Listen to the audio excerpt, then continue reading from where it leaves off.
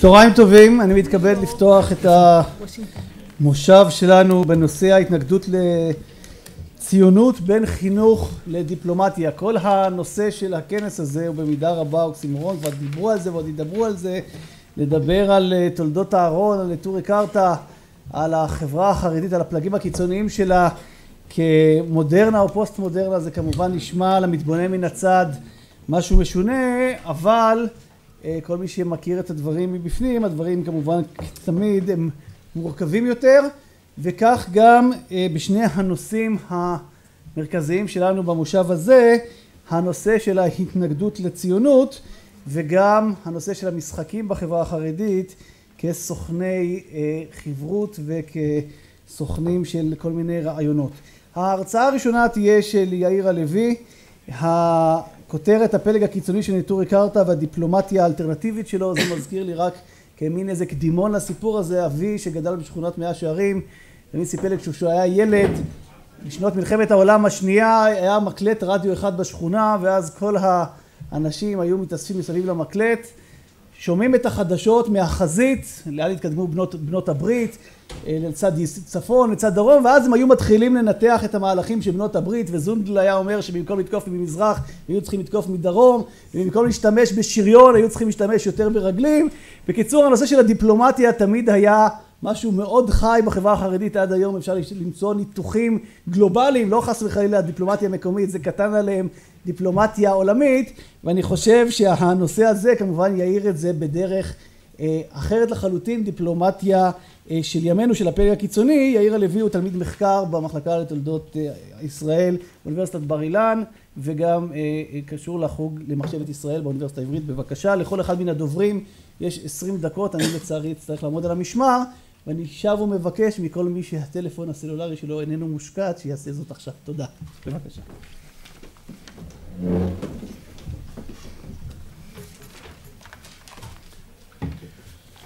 תודה רבה, אחר צהריים טובים.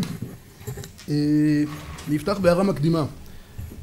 זה אומנם מובן מאליו, אבל הנושא הוא די רגיש ולכן כדאי להבהיר את זה. אני אציג תופעה, אני אציג קבוצה, אנשים חיים וקיימים היום. אני כמובן לא מציג, אנחנו פה מנתחים אותם באופן אקדמי, תיאורטי, אנחנו לא, אני לא מציג את העמדה שלי כמובן, אני לא מזדהה עם העמדות שלהם, הם קבוצה שקיימת ויש לה משמעות, יש לה חשיפה תקשורתית, יש לה משמעויות גם מעבר למעגל הצר ולכן ראוי לשים לב אליה. הנושא של הכנס כולו הוא אולטרה אורתודוקסיה, אולטרה אורתודוקסיה כלומר לא סתם אורתודוקסיה, משהו עוד יותר קיצוני לצורך העניין, ובכמה מובנים אנחנו הולכים לדבר על הקבוצה האורתודוקסית הקיצונית ביותר. המושג קיצוניות הוא מושג טעון כמובן, אפשר לדבר על כל מיני סוגים של קיצוניות, לצורך העניין, אולי אנשים לא שמים לב לזה, אם ניקח תלמוד תורה אז בפשטות הציבור הליטאי הוא הכי קיצוני,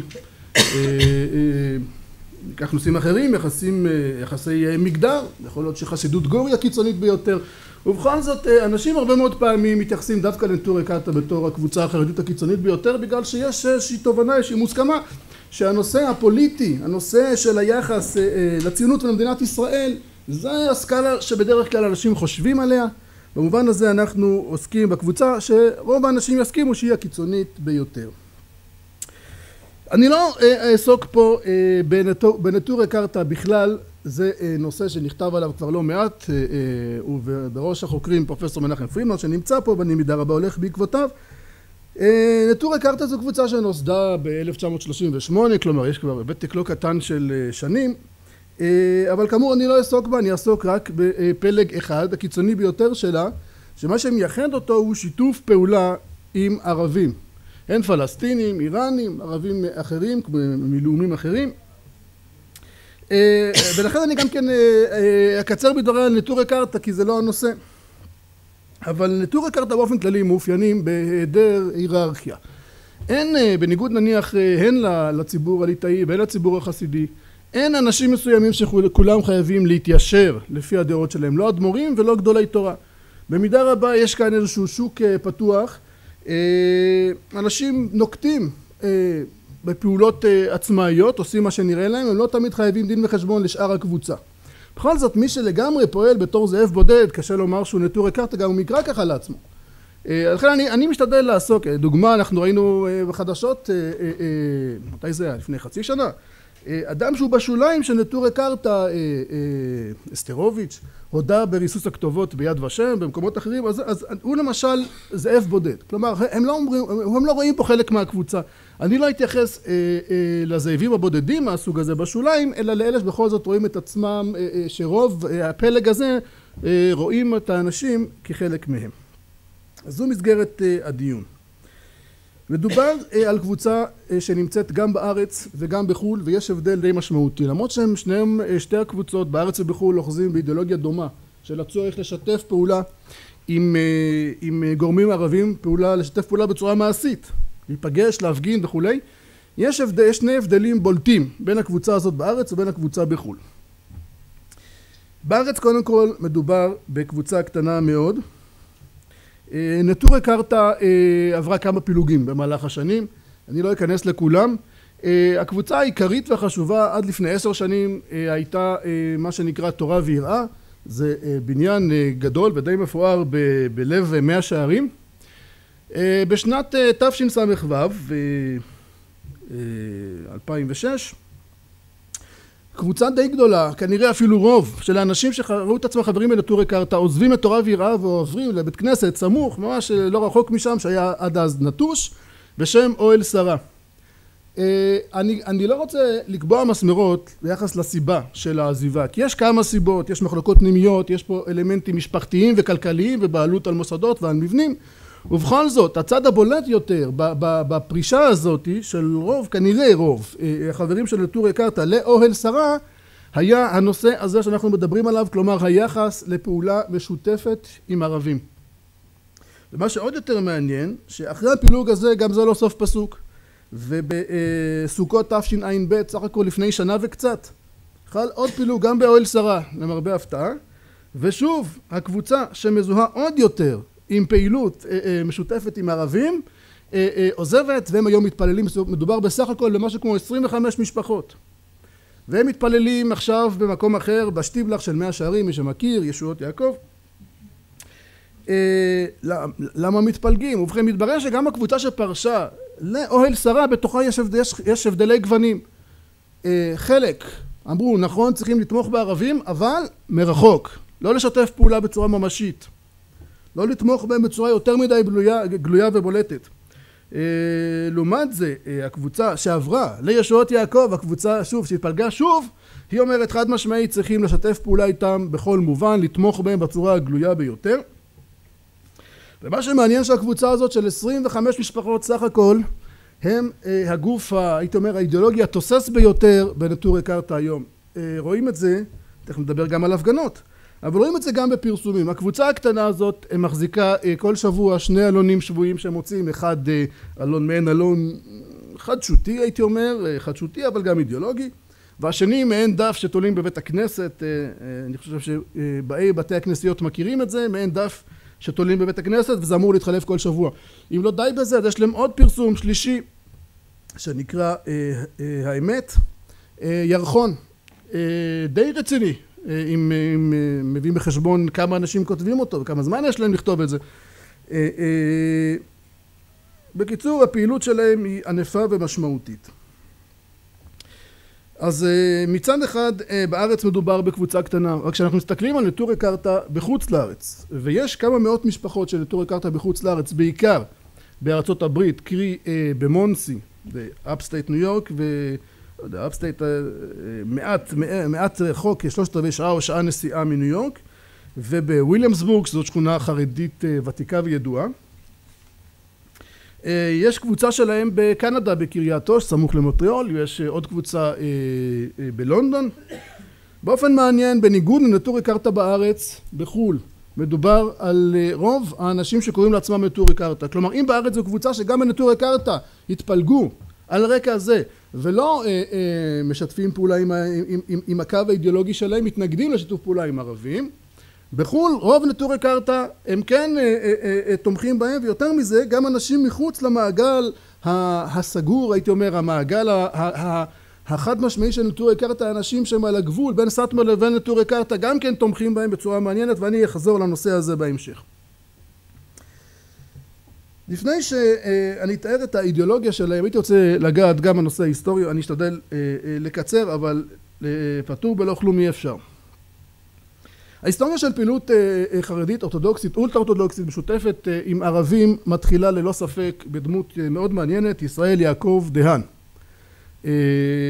נולד 1881 נרצח כידוע 1924 הרצח הציוני הראשון באמת דמות מרתקת מוכשר מאוד עיתונאי סופר פובליציסט ועוד. הספיק בחיים הקצרים שלו אם עשיתם חשבון הספיק בחיים הקצרים שלו הוא נולד במשפחה דתית בהולנד הספיק להיות יהודי מתבולל להתחתן עם נוצריה חזר אחר כך בתשובה. סליחה? נגיע לזה תכף התחתן עבר אחרי שאחר כך התחיל לחזור בתשובה היה איש המזרחי עלה לארץ ישראל עבר לאגודת ישראל אז אגודת ישראל הייתה חלק מהיישוב הישן אבל גם בתוך היישוב הישן הוא התחבר דווקא לקיצוניים יותר ביישוב הישן ובסופו של דבר הוא, הוא לוקח את אנשי היישוב הישן שעד אז לא עסקו בזה בכלל הוא לוקח אותם לכיוון של מגעים דיפלומטיים עם גורמים ערבים. ובשנות הפעילות הקצרות שלו מדובר שנתיים שלוש משהו כזה הוא מצליח להיפגש עם הרב זוננפלד שהוא המנהיג הדתי של העדה החרדית לצורך העניין. הוא מספיק להיפגש עם חוסיין מלך חיג'אז ועם בנים שלו פייסל מלך עיראק והאמיר עבדאללה שאחר כך היה מלך ירדן. הוא מגיע להישגים לא מבוטלים נפגש עם גורמים בריטים ומשפיע עליהם היישוב מסביבו רואה את זה וזה מאוד לא מוצא חן בעיניו וכנראה זה כמעט רצח ידוע מראש המעוניינים יראו בספר של פרופסור פרידמן יותר בנושא הזה בכל אופן היישוב לא יכול לא יכול לא מצליח להבליג על תופעה עד כדי כך דרמטית ובכ"ח בסיוון תרפ"ד הוא נרצח הזהות של הרוצח ידועה אברהם תהומי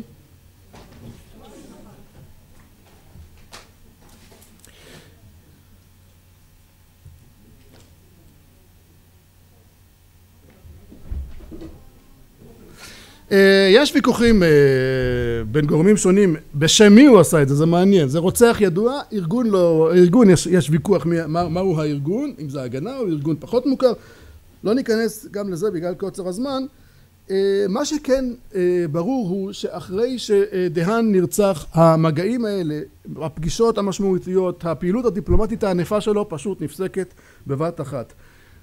אין הכוונה מכאן והלאה העדה החרדית היישוב הישן מתעלמים ממגעים עם ערבים. מנסים שומרים איתם על איזה שהם יחסים טובים. יש מכתב של הרב זוננפלד ב-1931 ודברים מהסוג הזה. פעילות ממשית מעין זו אפילו קרובה לזו שדה האן ניהל אנחנו לא מוצאים יש תופעה אחת שכן צריך להזכיר וזה לייבלה וייספיש או השם המלא אריה לייב וייספיש נולד 1921 נפטר 1997 הוא ידוע הוא נודע בעשורים האחרונים לחייו בתור מעריץ נלהב של ניטשה והכוונה מעריץ במלוא מובן המילה הוא חשב שאי אפשר להבין את היהדות או להיות יהודי טוב ואמיתי ושלם בלי ללמוד את ניטשה ולהבין את המבט שלו על היהדות אבל הוא נודע עוד קודם לכן ב-1900 סוף 1950 תחילת 1951 בסיפור של חציית הגבול לירדן. אני אקצר כי אני רוצה להגיע להמשך. בכל אופן העיקר שם לא מדובר בפעילות נושאת פרי משמעותית. למעשה הוא חצה את הגבול בגלל שהוא נידון עוד לפני כן הוא נידון לשישה חודשי מאסר על זה שהוא לא התגייס לצבא שהוא השתמט מגיוס בתקופה שהיה בירדן הוא ישב בעיקר בכלא הוא לא ניהל שום דבר משמעותי וגם אחר כך היו סיפורים שהוא היה פעיל באו"ם אבל גם שם זה לא הגיע לידי שום דבר בעל משמעות. במשך כל השנים האלה עד תחילת שנות ה-70 שזה השלב הבא במשך כל השנים האלה המנהיג הידוע והחד משמעי של טורי קרתא לצד אהרון כצנלבוגן אבל המנהיג היותר ידוע הוא עמרם בלוי עמרם בלוי היה אדם פעיל מאוד אבל לא פעיל בתחום הדיפלומטי. ככל הנראה לא היו לו כישורים מתאימים לזה. הוא בעצמו אמר ש... ציטוט האמת היא שבהריגתו הרגו את היהדות, של דהן, הרגו את היהדות החרדית בכלל, כלומר בלי דהן אי אפשר בכלל לעשות דברים כאלה, ברגע שהוא נרצח נגמר העניין. 1924, קיץ 1924. אה, ובכל זאת, אה, מיד, מיד אחרי אה, פטירתו של עמרם בלוי, מתחדשים המגעים, יכול להיות שיש קשר, אני לא יכול לומר מה היה קורה אילו. בכל זאת מתחילים, המצב מתחיל להשתנות והדמות המשמעותית הבאה בהקשר הזה היא משה הירש. אני חושב שגם אותו חלק ניכר מהציבור מכיר.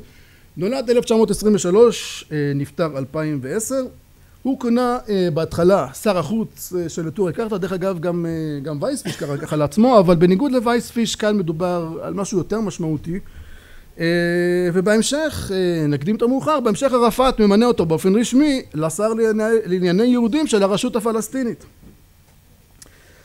יש כמה משותף, יש איזשהו מכנה משותף בינו ובין דהן, גם הוא מגיע מרחוק, הוא לא גדל בירושלים, הוא נולד ב-lower east side של מנהטן בניו יורק. אה, עולה לארץ כמו דהן בגיל מאוחר יחסית, בשנות השלושים לחייו, אה, הוא בכלל אה, תלמיד של ישיבות ליטאיות ובאופן מעניין הוא מתחתן עם הבת של הרב אהרון כצנלבוגן, אמרנו כבר אחד המנהיגים של נטורי קרתא, ועם השנים הוא הופך להיות לא מנהיג, כי לא כולם בנטורי קרתא כמו שכבר אמרתי, לא כולם מסכימים עם הדרך הזאת, אבל הוא ללא ספק הפך לדמות המזוהה ביותר בחייו עם הפעילות הדיפלומטית של נטורי קרתא. אה, והוא מגיע גם להצלחות די משמעותיות, למשל אה, ב-1985 הקונסול המדיני של ארה"ב אה, הוא מביא אותו לביקור במוסדות של נטורי קרתא בירושלים. ערפאת מכיר, מכריז על זה שהוא מכיר בנטורי קרתא בתור פלסטינים, בתור אזרחים פלסטינים. הוא בסוף שנות ה-80 אולי גם קודם אני לא בטוח בנקודה הזאת הוא מתחיל להיפגש באופן רשמי עם ערפאת. באוגוסט 92 הוא הופך ליועץ רשמי של המשלחת הפלסטינית לשיחות וושינגטון ובמאי 94 עוד בתוניס ערפאת ממנה אותו רשמית כמו שאמרתי לשר לענייני יהודים. התפקיד הזה, לא יש לי יותר לפי החשבון שלי. טוב. אה, בתפקיד, בתפקיד הזה שהמהות שלו לא לגמרי ברורה אה, אה, מה זה בדיוק השר לענייני יהודים אבל ממסמכי שלל שנתפסו במבצע חומת מגן מתברר שמדובר בתקציב שלא לא, לא, לא מבוטל שערפאת שערפאת אה, הקצה לו. כלומר יש פה משהו, זה לא קוריוז בעלמא, יש פה משהו קצת יותר רציני. אני כמובן לא אה, מציג אותו בתור שר לכל דבר, חבר קבינט, אבל יש פה, יש פה, אה, אני חושב, דבר שקשה להתעלם ממנו. הנטורי קרתא בכלל רואים את עצמם יותר ממשיכים של האידיאולוג הגדול של השיטה הקנאית, כלומר הרבי מסטמר, הרב יואל טייטלבום. אבל מי שמנסח את האידיאולוגיה של, אה, של הראברס, זה השם דרך אגב הייתי צריך לומר קודם, הקבוצה הזאת שאנחנו מדברים עליה, שפועלים אה, בשיתוף פעולה מוצהר עם אה, ערבים, מפגינים יחד וכולי, בעגה הירושלמית הם נקראים הראברס, כלומר תרגום לעברית ערבים. אבל בכל אופן האידיאולוג הגדול שלהם הוא הרב משה ברבק, זה אדם שמסיבות אידיאולוגיות אה, ירד מהארץ כי הוא אמר שבארץ מסוכן לחיות גם מבחינה גשמית, מסוכן, אה, יהיו אסונות, אבל גם מבחינה רוחנית כי עצם זה שאדם חי בארץ ממילא אה, הוא יצטרך בהרבה מאוד דרכים להכיר בסמכות ובמשמעות של המדינה הציונית ולזה כמובן הוא לא, הוא לא מוכן להתפשר עם זה ולכן הוא ירד למון שיא שכבר הזכרנו. אה, אמרנו הוא האידיאולוג הגדול שלהם משום שזה אדם בעל יכולת כתיבה ויכולת אה, סידור אה, באמת מרשימה. הוא כתב לא מעט ספרים. בנושא הזה הוא כתב קונטרס שנקרא דרך ההצלה זה קונטרס שהתפרסם פעמיים פעם אחת בתשמ"ח פעם אחת בתשס"ב והמכנה המשותף לשני הדברים אולי מישהו המכנה המשותף לשתי השנים האלה זה תחילות שתי האינתיפאדות. בתחילת האינתיפאדה הראשונה בתחילת האינתיפאדה השנייה הוא, הוא יודע לזהות שעכשיו הזמן לפרסם את הדברים הנושא חם אז הוא מפרסם. אה, בספר הזה בקונטרס דרך ההצלה הוא מונה חמש תועליות כן כלשון, אה, אה, כלשון הלשון המקובלת בספרות הרבנית למה צריכים לשתף פעולה ולהפגין יחד עם ערבים ואת זה בחו"ל עושים הרבה מאוד מפגינים בכל הזדמנות עם הערבים. אני לא אמנה את כל החמש תועליות זה מעניין שרק אחת מהן היא הצלה השם של הקונטרס אבל רק אחת מהן היא פשוט כי בדרך הזאת אנחנו נציל את, את היהודים כדי שהערבים יבינו שלא כל היהודים מתנגדים להם לא כל היהודים ציונים. הסיסמה המפורשת שלהם היא יהודי אינו ציוני וציוני אינו יהודי. יש מבחינתם זה שני דברים מנוגדים שבכלל לא, לא, לא מתיישבים יחד. אבל רק אחת מחמש התועליות כמו שאמרתי היא העניין הזה. השאר התועליות יהיו הפרסום הן הפרסום. כלומר פרסום כלפי כל אומות העולם כלפי ערבים כלפי שאר החרדים שלא מבינים את זה שאנחנו צריכים להתנגד בצורה מוחלטת כמו, ש, כמו, כמו שהרב יואל טטילבום גם אומר אבל לא בלי קשר לערבים. אנחנו צריכים להתנגד בצורה מוחלטת אה, אה, למדינה היהודית וכדי שכולם ידעו את זה אנחנו חייבים להפגין יחד עם הערבים. למה? האמת היא שהנימוק הוא שייך לדעתי לתחום של תקשורת ושל יחסי ציבור. כלומר הוא אומר אם אנחנו נעמוד לנו בקרן, בקרן הרחוב לא משנה במאה שערים או בברוקלין ונשים שלטים אף אחד לא ישים לב אבל כשאנחנו עושים את זה כשאנחנו עושים את זה בהפגנות פלסטיניות וכדומה ערביות בכלל מיד כל כלי התקשורת באים אלינו ומפרסמים את העניין. אין לנו כסף אין לנו משאבים זאת הדרך שלנו לפרסם. יש כאן תובנה באמת לדעתי פרסומית לדעתי לא לא קשה קשה להתעלם מההיגיון היחצני פה. ולכן צריכים הוא אומר לשתף פעולה עם כל דבר. אין לנו ברירה גם כן. אנחנו מה שהם אומרים אנחנו צריכים להסכים. גם האמת היא שהוא אומר הפלסטינים בדרך כלל צודקים וגם אם הם לא יצדקו באיזה עניין לא נורא. כי העיקר הוא שאנחנו צריכים לפרסם כמה שאנחנו מתנגדים למדינה הציונית הוא מתמודד בקונטרס הזה כדרכו בכלל עם כל הטענות. יש הרי המון טענות כלפי נטורי קרתא וכלפי הרעבערס על השיתוף פעולה הזה עם הערבים. הוא מתמודד עם כל הטענות אחת לאחת בצורה מפורטת ואפשר לומר מרשימה. למשל עם טענה שבאופן הזה שמפגינים יחד עם ערבים נעשים זו מילה ביידיש שקשה לתרגם פארגוישט. זה בא מהמילה כמובן גוי אי אפשר, כשאתה מפגין איתם אתה בסופו של דבר אתה מושפע אתה מקבל משהו מהרוח שלהם. והוא אומר לא בגלל שהם בגלל שהם ערבים והם לא יהודים אם היינו מפגינים יחד עם אגודת ישראל אנחנו עלולים להיות מושפעים.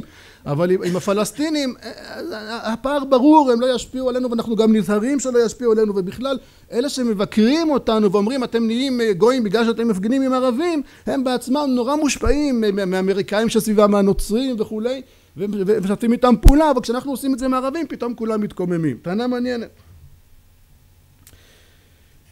נחזור לארץ. בשנים האחרונות המנהיג או אחד המנהיגים הבולטים של נטורי קרתא הוא של הראברס של הפלג הראברס בנו של משה הירש. ושמו ישראל מאיר הירש יכול להיות שגם אותו אתם ראיתם בחדשות ואם לא אני מתאר לעצמי שאם עכשיו תתחילו לשים לב אתם תראו אותו דמות ג'ינג'ית קשה לפספס בארץ הפעילות היא לא הפגנות משותפות פשוט כי זה לא זה לא מה שיש לעשות עם ערבים בארץ. בארץ הם עושים כמה דברים אחרים. א' נפגשים עם ערבים עם פלסטינים בעיקר תורמים להם כספים הולכים לבתי חולים לבקר פצועים וכדומה ומעניין מאוד הם גם הוא גם כן נואם נאומים בפני ערבים ויש פה את אחד הפרדוקסים של נטורי קרתא. הנאום באיזה שפה באיזה שפה הוא יכול לנאום לפני אז זה יידיש לא כולם שם מבינים עדיין ו... וערבית הוא לא יודע אז הוא באיזה שפה? בעברית, בעברית הטמעה אין לו ברירה הוא יודע את זה, הוא אומר את זה, הוא יודע זה חייבים להתפשר חייבים להתפשר כי יש משהו יותר חשוב ומקריבים גם את העיקרון הזה. זה רק פרדוקס אחד. האמת היא שהראברס הם כנראה אחת הקבוצות החרדיות הכי מודרניות. זה דבר מאוד מעניין. הם משתמשים בצורה נרחבת מאוד שתי דקות יש לי חשבוני בסדר תן לי אוקיי הם משתמשים בצורה נרחבת מאוד מפיצים את השיטה שלהם באימייל אבל יותר מזה לראברס בחו"ל בארצות הברית וגם בעבר גם באנגליה יש להם אתר אינטרנט. אין הרבה קבוצות חרדיות. יש חב"ד והגורמים היותר מודרניים בברסלב. אני לא יודע אם יש הרבה קבוצות חרדיות אחרות שיש להם אתר אינטרנט רשמי ויותר מזה זה חלק מהשיטה חלק מהאידיאולוגיה חייב להיות אתר כדי לפרסם את השיטה שלהם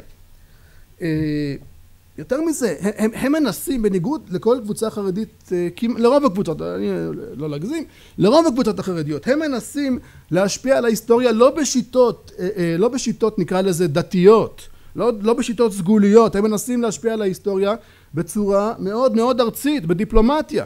הם מנסים לעזור להשתלטות של של של הפלסטינים על כל ארץ ישראל. גם פה יש כאן דבר שהוא באמת חריג יותר מזה אני חושב שאפשר לומר אני אשמח לשמוע למישהו יש עוד עוד דוגמאות אבל לדעתי הם הקבוצה החרדית הקבוצה החרדית היחידה שיש לה תוכנית מדינית מסודרת. כן? זה מעניין אפשר להשוות אותם בהקשר הזה דווקא לציונות הדתית לא לחרדים. כן? שהם פועלים בידיים כדי להגשים תוכנית. טוב, אני, אני, אני אסיים. אני חושב שהסיבה, אני אקצר פה, אני חושב שהסיבה שמצליחים כל כך דווקא, לא כל כך, אבל הם מצליחים יותר בחו"ל, בניטור קרתא בחו"ל ההצלחה שלהם הרבה יותר גדולה מאשר ניטור קרתא בארץ, היא אה, היחס לערבים, כלומר אה, בארץ, אה, פרופסור פרידמן כתב את זה לגבי דהן, ואני חושב שזה נכון בכלל, בארץ יש רתיעה של הציבור החרדי, רתיעה חזקה משיתוף פעולה עם ערבים, והסיבות הן ברורות, בגלל ההקשרים. אה, בארץ קשה מאוד להפיץ שיטות כאלה, ובחו"ל זה הרבה יותר קל. אבל אה, אפשר לראות כאן מה, מה, מהפרדוקסים שדווקא הם הופכים להיות היותר אה, ארציים ויותר אה, מודרניים ויותר תקשורתיים ועוסקים ביחסי ציבור. אפשר אולי לראות כאן שהעולם מורכב ולמעשה ככל שאתה מקצין יותר מצד אחד אתה בסופו של דבר חייב להתפשר בכיוונים אחרים. תודה רבה על ההקשבה. תודה רבה ליאיר לוי על הרצאה מרתקת. שמענו כאן על מיעוט בתוך מיעוט מתוך מיעוט, פלג של נטורי קרתא, בתוך נטורי קרתא שהיא קבוצת מיעוט, בתוך העדה החרדית, בתוך היהדות החרדית אם תרצו. ומכאן נעבור להרצאה השנייה במושב הזה של דוקטור סימה זלצברג בלק. דוקטור זלצברג אה, לימדה באוניברסיטת בר אילן, כתבה את הדוקטורט שלה על הנשים בחסידות תולדות אהרון. וההתמחות שלה היא באותן קבוצות מרתקות, אם דיברנו על מיעוט בתוך מיעוט, אז קבוצות המיעוט של המיעוט של המיעוט, וזה הקבוצות של הנשים והילדים, והיום נשמע בעיקר, אני מבין, על הילדים, על המשחקים בחברה החרדית כאמצעי חברות וכאמצעי להעברת מסרים. בבקשה.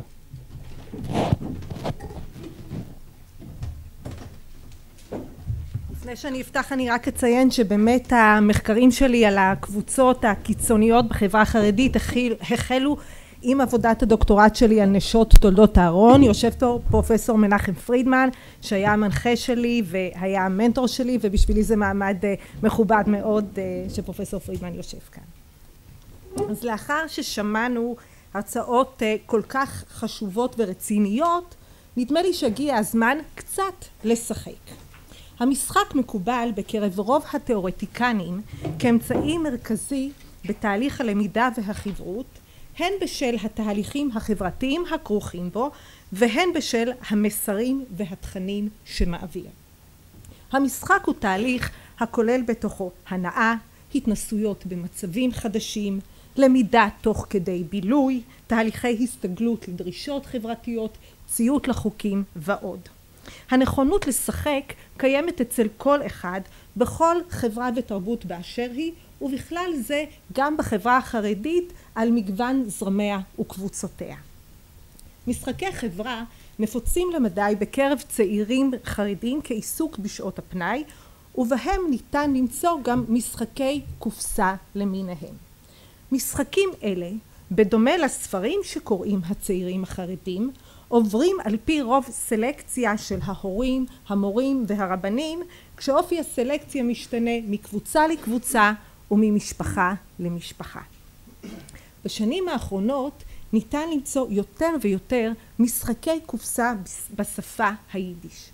משחקים אלה מופצים בעיקר בקרב החוגים הקיצוניים בארצות הברית כשמרבית הצרכנים שלהם נמנים עם חסידי סאטמר ועם הקבוצות השונות שיאיר ציין. חלק קטן מן המשחקים הללו הובאו לישראל רק בחודשים האחרונים וניתן למוצאם בחנויות ספורות באזור גאולה, מאה שערים וכן ברמת בית שמש. עיקר הצרכנים של המשחקים הללו בארץ הם אנשי חסידות תולדות אהרון. באמצעות בחינת המשחקים ביידיש ניתן ללמוד על הערכים והנורמות שאותם מבקשים בני הדור הבוגר להנחיל לבני הדור הצעיר בקרב הקבוצות הקיצוניות. ואולם חרף הפופולריות ההולכת והגוברת של המשחקים ביידיש בקרב החוגים הקיצוניים הללו וחרף הפריחה המחקרית הקיימת היום ביחס לחברה החרדית כמעט שלא ניתן למצוא התייחסות מחקרית למשחקים הללו. כדי ללמוד את הנושא מקרוב יצאתי לשיטוט בחנויות המשחקים בוויליאמסבורג בברוקלין במתחם שבו ממוקמת החסידות הקיצונית חסידות סאטמר וזאת מאחר שבעיקר שם בחנויות שם ניתן למצוא את המשחקים הללו. לצורך המחקר הסתובבתי בעיקר בלי אבניו, יש כאן תמונה, שזו השדרה המרכזית במתחם שבו מרוכזת חסידות, ממוקמת חסידות סאטמר בוויליאמסבורג. השדרה שוקקת חיים ואדם ולכל אורכה מצויות חנויות רבות ובכלל זה גם חנויות משחקים. נכנסתי לחנויות, שוחחתי עם המוכרים והקונים וכמובן גם בחנתי את המשחקים. במאמר מוסגר אציין כי איני דוברת יידיש, היידיש שלי מסתכמת בכך שכשהייתי קטנה וההורים שלי לא רצו שאני אבין את דבריהם הם נהגו לדבר ביניהם ביידיש. אז אני יודעת להבין רק כשמדברים עליי אבל באמת לא הרבה מעבר לזה.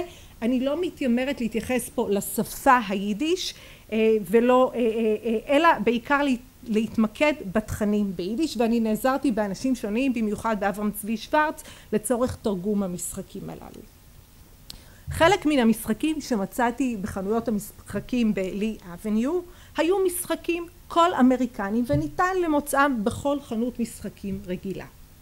ואולם חלק אחר ובלתי מבוטל של המשחקים היו משחקים ביידיש אשר נשאו מסרים חינוכיים מובהקים לבני הדור הצעיר. משחקים אלה לא ניתן למצוא בחנויות רגילות. מרבית המשחקים ביידיש הם במקור משחקים חילוניים, כך אני אכנה אותם לאורך דבריי, את אותם משחקים שנמצאים גם בחברה הכללית. ובכן המשחקים ביידיש הם במקור משחקים חילוניים שעברו אדפטציה ברוח חרדית. חלק ניכר מהם נושאים שמות השאובים מעולם המושגים הדתי אשר מרמזים על תוכן המשחק. למשל המשחק ונשמרתם מלשון ונשמרתם לנפשותיכם המשחק ונשמרתם הוא פאזל שבתום הרכבתו מתגלות מספר תמונות המלמדות את הילד ממה עליו להישמר, כיצד עליו לשמור על עצמו. כמו, הנה אנחנו נראה את זה פה יותר טוב, כמו כיצד לחצות את הכביש כהלכה, לא לאכול יותר מדי ממתקים, להתלבש היטב בחורף, להתרחק מתנור, מאש, כשתחת כל תמונה יש כיתוב, הוא לא כל כך ברור פה, אבל יש כיתוב ביידיש שמסביר ממה על הילד להישמר. ונשמרתם אמנם מבטא את המצווה ונשמרתם לנפשותיכם, אופה, אופה סליחה, אנחנו לא רוצים את זה עדיין, המשחק הזה אמנם מבטא את המצווה ונשמרתם לנפשותיכם, אך בה בעת הוא מבטא מסרים חינוכיים הרלוונטיים לילדים בחברה הכללית וניתן למוצאם למעשה מן הסתם במשחקים שונים חילוניים רק במעטפת אחרת. בשונה מכך ישנם משחקים שמהם עולים פרקטיקות, נורמות וערכים החשובים במיוחד בקבוצות חרדיות שונות ובקבוצות הקיצוניות והם אינם מופיעים במשחקים חילונים דומים. דוגמה לכך הוא, המצ... הוא המשחק מיץ וטאנץ. מיץ וטאנץ בעברית ריקוד המצווה, כך מכונה הריקוד שבני המשפחה רוקדים עם, הקהילה, עם הכלה במרבית הקבוצות החסידיות, בחתונות החסידיות. המשחק הזה הוא מאוד דומה למשחק דמקה חילוני, אבל במקרה הזה והוא נקרא מיץ וטאנץ משום שהשחקנים קופצים עוברים ממשבצת למשבצת מדלגים ממשבצת למשבצת כמו מרקדים ולכן קראו לו מיץ וטאנץ אבל המשחק הזה בשונה מן המשחק הדמקה הרגיל מנסה גם תוך כדי להנחיל פרקטיקות של תפילה, צדקה, חסד, שמחה ולימוד תורה אגב אם תשימו לב המשחק מיץ וטאנץ בדומה למרבית המשחקים ביידיש כולל הנחיות גם באנגלית וגם בעברית משום שהחברות שמשווקות את המשחקים הללו מעוניינים להפיץ אותם לציבור רחב יותר מעבר לזה שדובר יידיש בלבד. בשונה משני המשחקים מיץ וטאנץ ונשמרתם, אופלה סליחה, יש לנו את המשחק old maid. המשחק old maid אין לו שם מיוחד ביידיש והכללים שלו הם זהים למעשה לכללים של ה old maid המקובל בחברה הכללית. בקצרה מי שלא מכיר המשחק old maid הוא משחק קלפים שבמהלכו כל השחקנים צריכים למצוא בן זוג לכל אחד מן הקלפים שבידיהם השחקן שמפסיד הוא אותו שחקן שבידיו נותר הקלף ה old maid אותו קלף בלתי רצוי שאין לו בן זוג אבל במשחק ה old maid ביידיש מייחדים אותו כמה מאפיינים שאנחנו לא יכולים למצוא בגרסה החילונית שלו. קודם כל מי מופיע על הקלפים? שימו לב על הקלפים ב old maid מופיעים טיפוסים שונים שמאפיינים שאפיינו את השטייטל את העיירה היהודית וגם כיום הם טיפוסים שמאפיינים שנמצאים בקהילה החסידית בקהילות חרדיות שונות. יש לנו את ברוך דר בטחן למשל מיכאל דר מטמיץ' שלומקה דר שטחן גרונם דר גוילם שלומיאל דר שלוך שמרל דר שנורר ועוד ועוד טיפוסים אז זה דבר אחד שמאפיין את האולד מייד אבל יותר מעניין מה יהיה לנו על הקלף הבלתי רצוי? מה איזו תמונה או איזה ייצוג או איזה טיפוס יופיע לנו על הקלף האולד מייד על הקלף האחרון שאין לו בן זוג? מי, את מי, מי למשל חסידי סאטמר איזה ייצוג יהיה בעבור חסידי סאטמר ובעבור הח... כן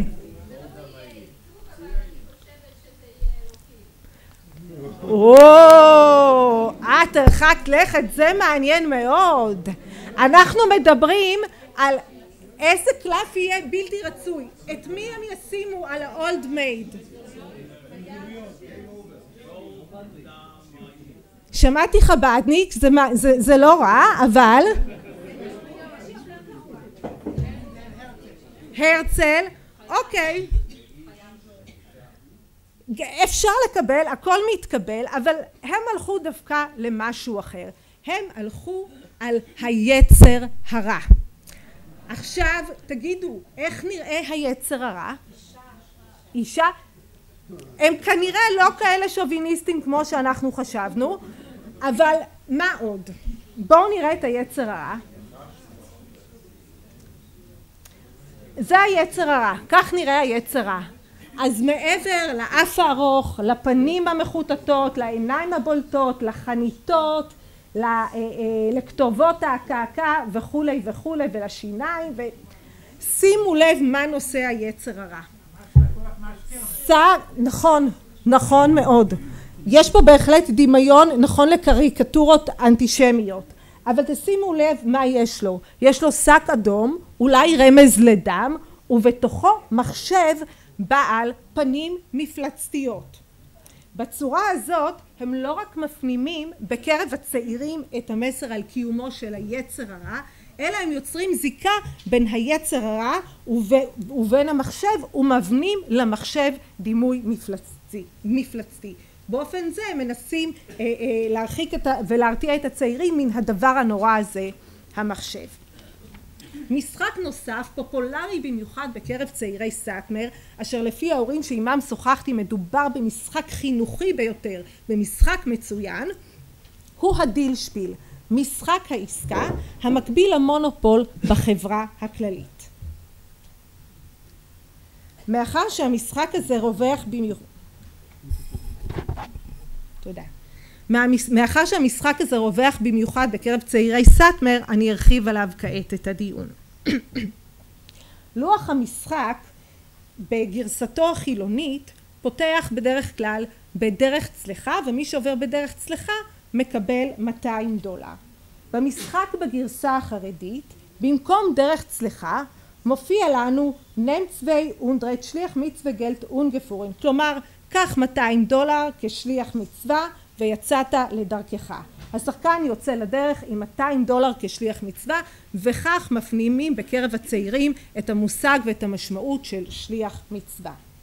דבר נוסף שמעניין בדילשפיל במונופול בגרסה החרדית הם המקומות המופיעים על הלוח.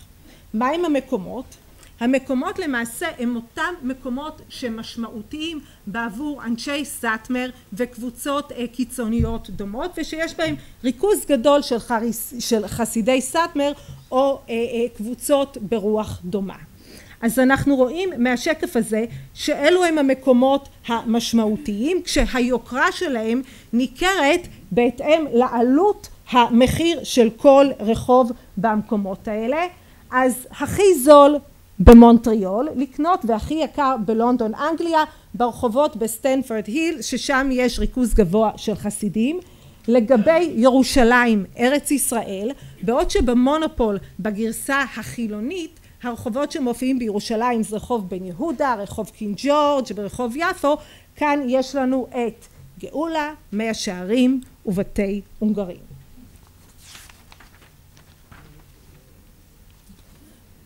עוד דבר מעניין בעוד שבמונופול בגרסה החילונית מופיעים לנו אתה רוכש אתה יכול לרכוש בתי מלון בתים בתי מלון ורחובות בגרסה החרדית אתה רוכש רחובות בתים ובתי מדרש שדמי השכירות של בתי המדרש היא גבוהה במיוחד.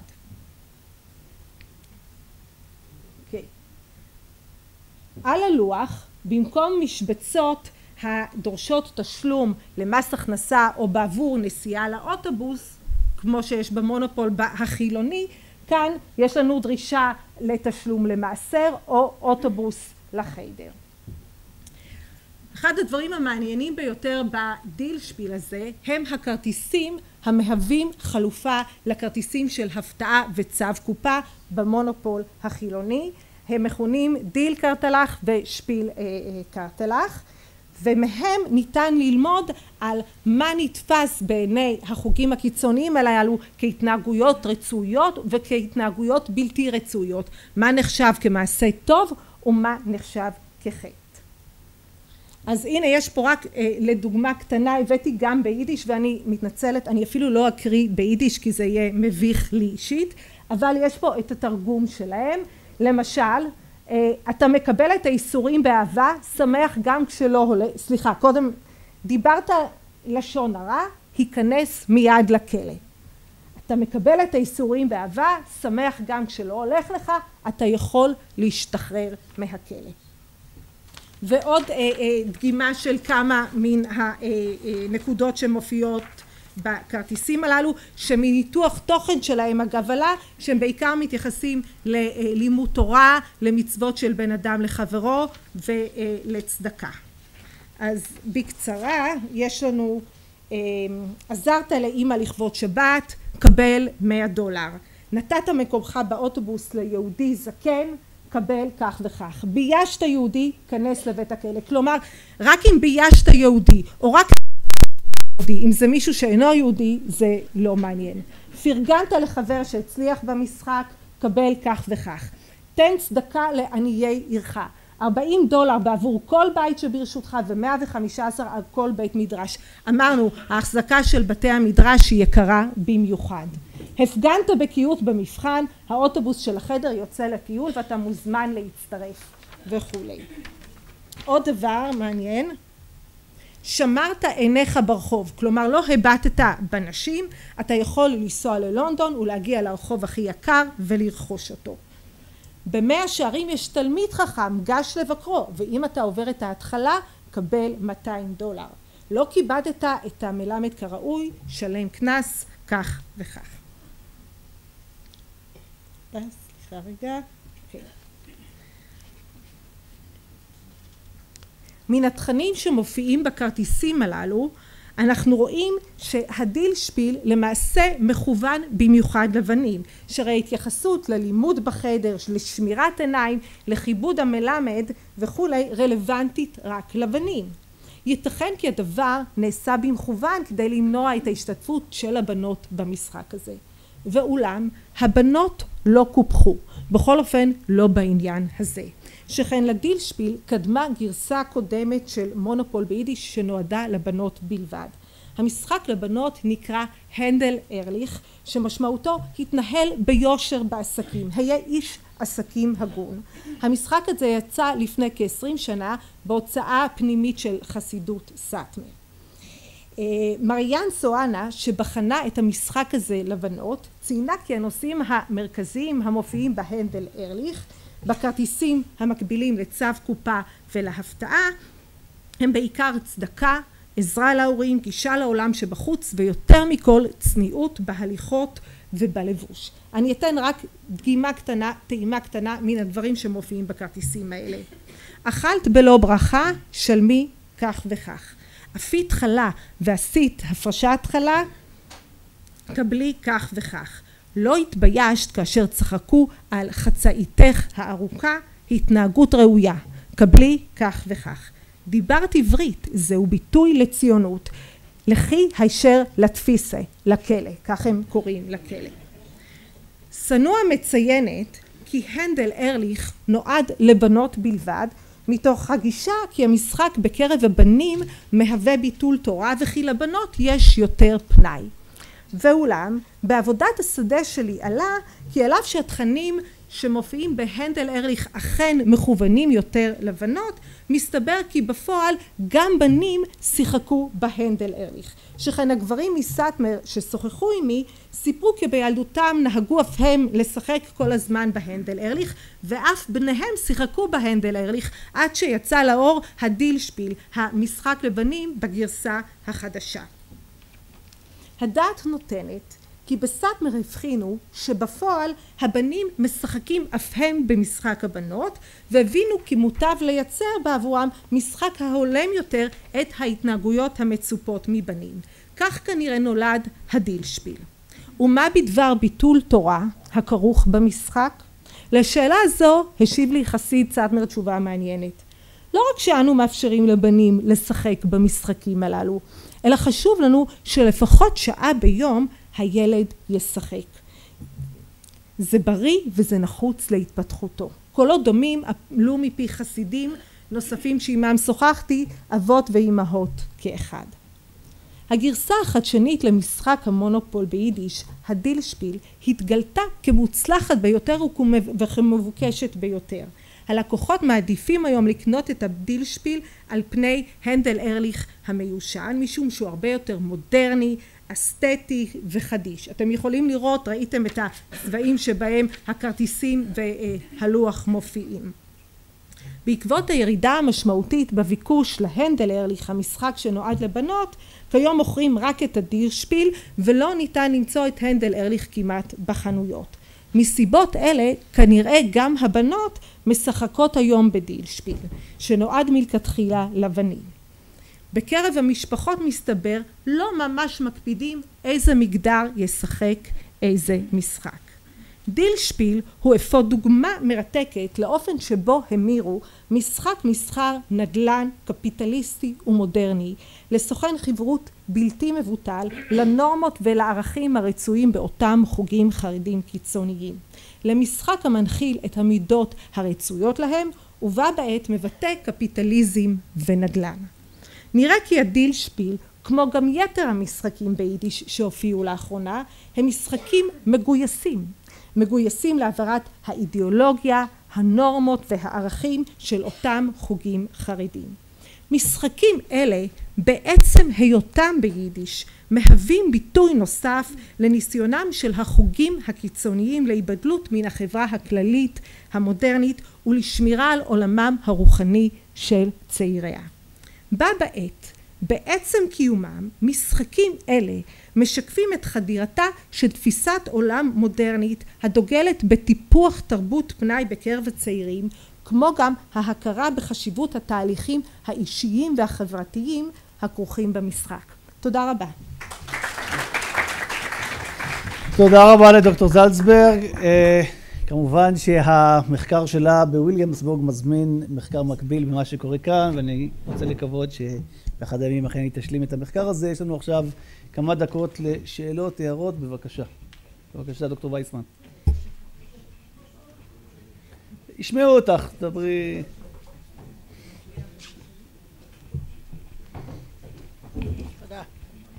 אני רציתי להעיר שהאיראנים אינם ערבים עכשיו מה שמשותף לערבים ולאיראנים זה שבשתי הקבוצות הרוב המכריע הם בני דת האסלאם ואני רוצה במשפט אחד לאתגר את ההגדרה של קיצונים כי יהודים דתיים שמוכנים להידבר עם מוסלמים עד כדי שיתוף פעולה יכול פרדוקסלית לחשב לפחות קיצוני מאשר חלק מהאורתודוקסיה המודרנית והציונות הדתית. תודה. עוד... אה, שנייה, שנייה, לא קיבלת את רשות הדיבור, סליחה. כן, בבקשה. בבקשה. כן. אה, זו שאלה לסימה. הייתי רוצה אה, גם לעבודה היפה הייתי מוסיף את כל הבובות הצעצועים שיש להם שעושים את ההפרדה בין בין הגברים והנשים שזה גם כן חלק של התרבות הזאת. ואני חושב אולי את מסכימה או לא שמה שעשה את דילשפיל יותר פופולרי זה החיקוי של העולם האמריקאי וזה כבר התחיל עם ה rabbi cards שזה גם כן היה חיקוי של ה baseball cards ודווקא הייתי אומר שזה לאו דווקא רק בוויליאמסבורג אני מצאתי את זה הרבה בבורו פארק וגם כן במאנסי ומקומות כאלה תודה, כן. בבקשה, הרב רוטנברג. כשתקבל את רשות הדיבור תוכל לדבר. בבקשה, הרב רוטנברג. כי אתה צועק במקום להצביע, זאת הסיבה.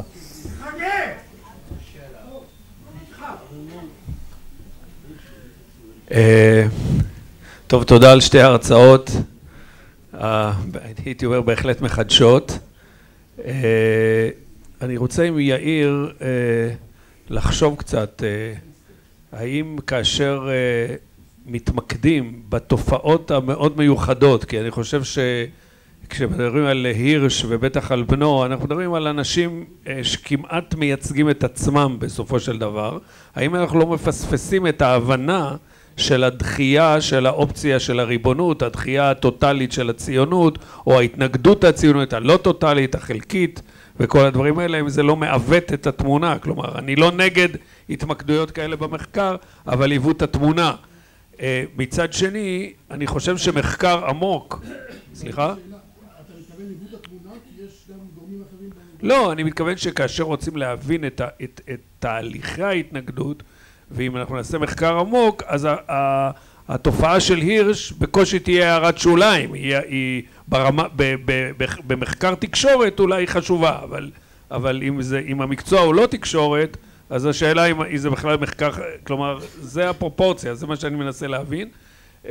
לגבי עמרם בלוי, אני חושב שהייתה כאן דווקא המון פעילות דיפלומטית אל אדם שצריך לזכור יצא מירושלים רק מסיבה אחת, כדי להתחתן עם רות בן דוד, כי הוא מילדותו לא יצא כל חייו מירושלים, כלומר זה עניין של טיפוס שלא, כלומר הוא לא פעל על המישורים האלה, גם עניין של שפה וכל הדברים האלה, כלומר צריך לראות כאן את התופעות בהקשר הזה. יש לי... אם אפשר... ככל שלא יתאמץ תמיד יימצא מי שיבינני שלא כהלכה. ו...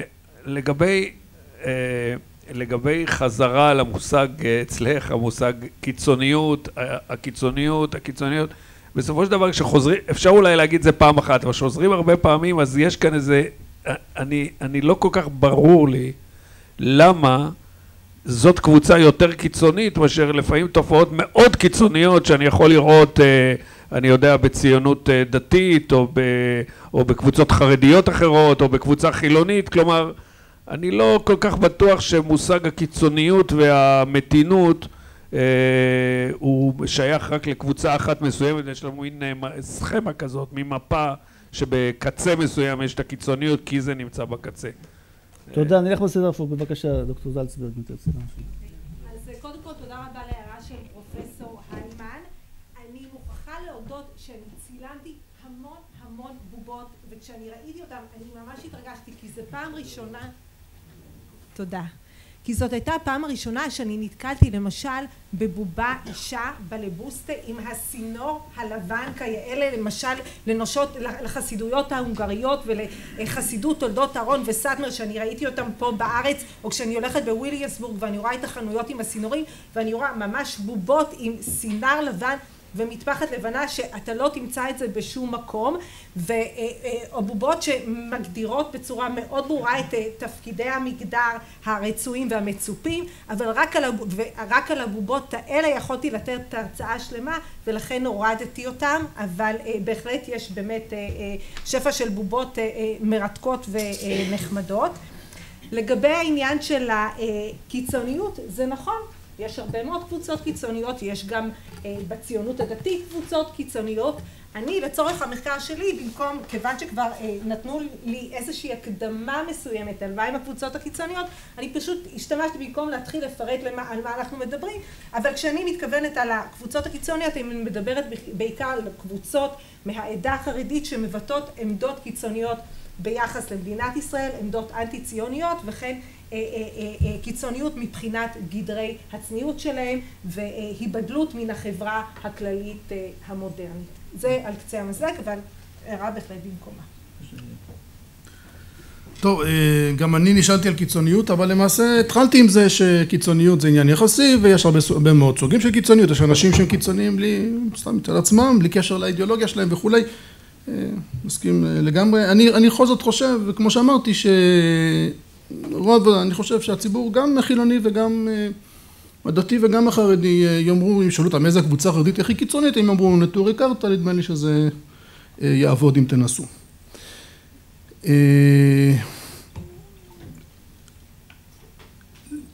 הייתה רגע הייתה עוד שאלה באמצע בין זה לבין פרופסור רוטנברג לא לא לא לא עוד מישהו שכבר שאל. מה? לא לא לא לא אוקיי לא אני אני לא זה לא אני רק רציתי להיזכר אם הייתה עוד שאלה שלא זכרתי זה לא בידיים שלי זה יושב ראש. אני מצטער אני אשמח לענות לך אחר כך מה שתרצה לגבי לגבי פרופסור רוטנברג אם ככה אני לא זוכר מה היה באמצע. פרופסור רוטנברג בסדר? נכון שהם מייצגים רק את עצמם אין פה שאלה. בכלל לא אין פה זה מובן מאליו. אנחנו עוסקים הרבה מאוד במדעי הרוח באנשים שמייצגים רק את עצמם. פרופסור קימי קפלן כותב עכשיו ספר חשוב על עמרם בלוי ואני באמת חושב שזה ספר חשוב ודרך זה אפשר להבין הרבה דברים אחרים. גם הוא כמה הוא ייצג כמה משפחות היו לו בטח אחרי הפרישה אחרי שהוא יצא מהעדה החרדית יש חשיבות גם לדברים כאלה אבל כאן מדובר על יותר מזה. אני לא מתעסק פה עם איזה מישהו שאף אחד לא שם לב אליו. אתה צריך לשים לב אנחנו זה טבעי שאנחנו רואים אותם בתור בגלל שהם באמת בעיניים שלנו קיצוניים רואים אותם בתור דבר שהוא לגמרי זניח ושולי אבל הם מופיעים בתקשורת ואי אפשר להתעלם מזה. בתקשורת העולמית הם מופיעים ללא סוף ואנחנו לא מודעים לזה כמה שהם מופיעים ובתקשורת הערבית עוד יותר ואני גם, אה, נזכרתי בהערה שערבים הם לא איראנים, זו הייתה שאלה ששכחתי, האיראנים הם לא ערבים, מה?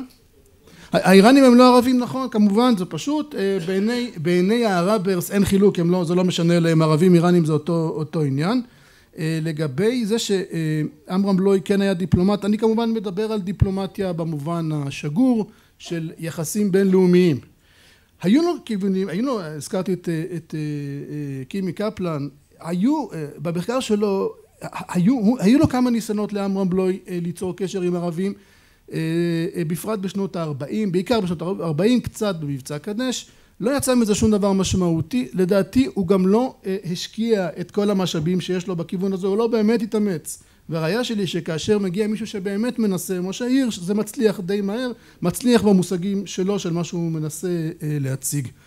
תודה רבה על כל השאלות. תודה רבה, אני רק רוצה לסיים ככה בנימה קצת קלילה, דיברו פה על משחקים, היה לפני כמה שנים משחק בעדה החרדית שפורסם פה, הופץ בירושלים על מצוות שונות, זה דבר מאוד פופולרי, אחת המצוות הייתה מצווה של פרו ורבו, וראו שם משפחה שחיה בירושלים עם 15 ילדים, כל פעם שהם היו הולכים ברחוב היו אומרים הנה המצווה הזאת מהמשחק, מאז הפסיקו לשווק את המשחק, זה לא בדיחה, זאת מציאות, אז גם דברים כאלה ללמדכם שמשחקים יכולים להיות דבר מסוכן. תודה רבה, אנחנו נחזור לכאן בעוד רבע שעה למושב הבא. תודה.